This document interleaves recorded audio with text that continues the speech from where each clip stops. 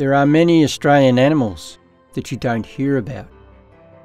They've been pushed aside and hidden from society by animal researchers and other animal societies, considered to be not worthy of being mentioned. In this video, I would like to introduce you to three such native Australian animals that live in the reserve I call my office. The bogul, a native bush rat, live in dense forests and burrow underground, usually under a fallen tree. It's rare to see them cross the trails. They prefer to be hidden in the undergrowth. The only time you will see them is if you look under fallen trees for their burrows, then sit down and wait for them to come out. They're active during the day and at night. Their diet consists of fungus, grasses, fruits, seeds and insects. They're not considered to be climbers, but they are, especially when it comes to food. I have seen them climb trees up to 3 metres high. Boguls can be quite aggressive to their own kind. Damaged tails and torn ears are the result of fighting. These injuries help me to identify the individual. Boguls only live for about a year and a breeding pair can stay together until the end of their lives. Then their young take over the nesting site.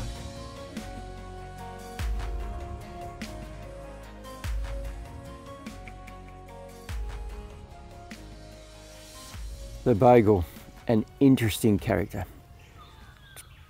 A little bit bigger looking than the black rat, mainly because of its fur. Sort of tends to fluff out a little bit. But they are very much individuals, very confident within themselves, don't take shit from any other animal that they tend to run across as they all use the similar tracks. They use the logs on the ground to get around from one area to another safely and through the thick grasses. Now, they, if a bird flies past them when they're out in the open, they will go and hide. Uh, they don't give you that feeling that they're a nervous animal, but they're cautious nevertheless. Interesting character, a very reasonably good climber, and I don't know why people haven't seen this in the past because I see it a lot. Researchers don't mention it, they say they're just not known as a climber, but they do it and they do it pretty well when it comes to food. So that's the bogul. Australia's swamp rat Swamp rats look more like a guinea pig with a short tail than they do a rat.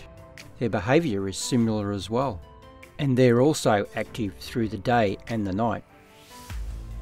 Swamp rats make extensive burrows underground. They also make tunnels through the vegetation to get to their food source. They eat stems of grasses and sages. Like the bogul, it's rarely seen running across the trails. Their lifespan is around three years. One female will own the burrow and she will aggressively defend it. When males have served their purpose, she will chase them away from the burrow. The swamp rat isn't considered to be a good climber, but they actually are quite highly skilled at climbing trees and shrubs.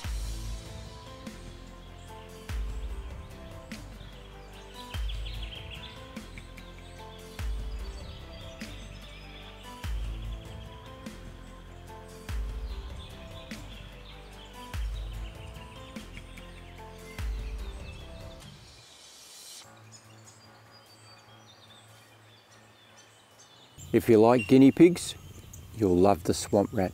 Very similar in behaviour, size as well. They're probably the size of a big guinea pig. And also their voice is very similar as well.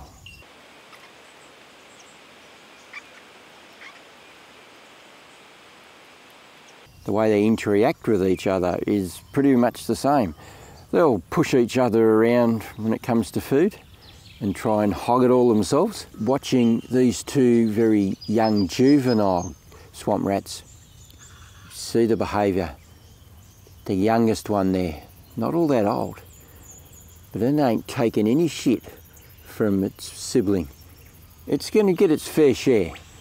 It's entertaining to watch them and how they interact with other animals, which we'll have a look at a bit later on. Uh, and they're actually really good climbers, very acrobatic. I've uh, seen a lot.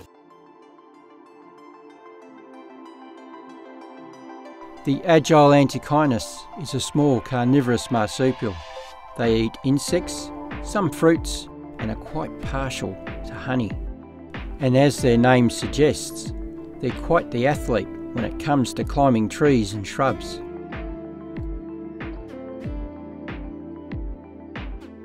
Agiles prefer to nest in hollow trees or logs on the ground. Males only live for about 11 months. During the breeding season, males' testosterone levels rise and other chemicals flood their bodies. And in the end, this is what kills them. They desperately mate with as many females as they possibly can before their body gives out. Agiles can be seen running across the trails and climbing trees. Occasionally the agile has contact with the bogul and the swamp rat. They have no fear or tolerance for the agile and they can kill them quite easily. But this doesn't deter the agile when it comes to food. They will try all sorts of tactics to frighten the bogul and the swamp rat off.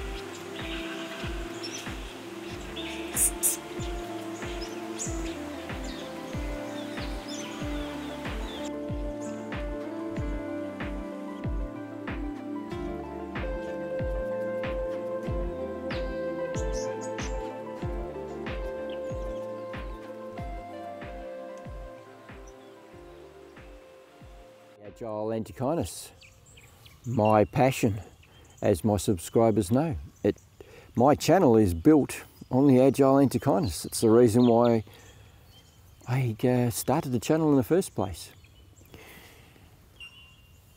They're amazing, amazing animal to study, full of character, and I have no idea why they ain't competing in the marketplace out there with koalas, and kangaroos, all those sort of cuddly animals.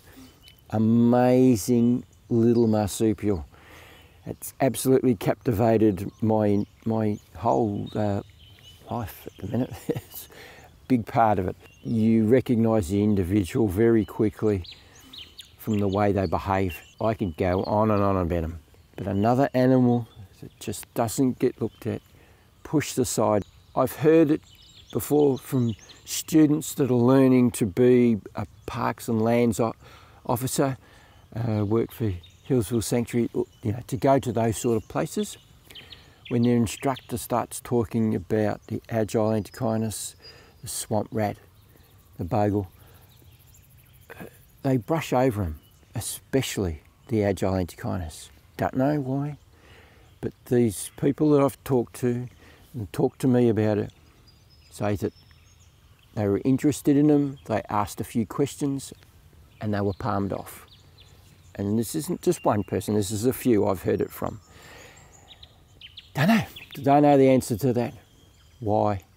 A lot of other Australian animals are all in the same boat, they're pushed aside. Hope you enjoyed this little video and learned a bit yourself about animals that you don't normally see. If you'd like to subscribe to my channel and get more of this amazing stuff, hit my pretty little face just down there in the bottom right hand corner of the screen. Hit the little bell. You'll get notification whenever I do anything else. If you want to go and have a look at all the stuff I've done in the past, click on my icon right here. We shouldn't be in the forest. Get out of here. I don't hate cats. I just don't want them in the reserve. They shouldn't be out in forests eating my friends. An amazing animal in their own country, which is where they should go back to. We shouldn't have them in Australia. Being political, aren't I? If you want to go and have a look at my channel, click on the icon here. It'll take you there. I talk about all sorts of things to do with photography, photographing, filming in a forest environment. It's tough. There's lots to learn and I can help you out in that area if you like. You go and have a browse, there's tons of stuff there from me doing little ditties like this. Practicing at making wildlife doc documentaries, doing voiceovers, practicing there, all sorts of crazy things like that. Now just remember, if you don't do, you don't get. So get out there and start photographing and filming wildlife. And I'll catch you on the next one.